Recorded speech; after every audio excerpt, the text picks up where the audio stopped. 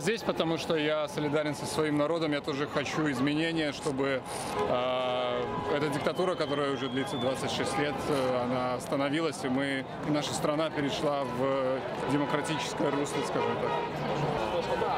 Сегодня вообще-то само время вот сюда, вот так вот. Поддержать протест. Поддержать протест.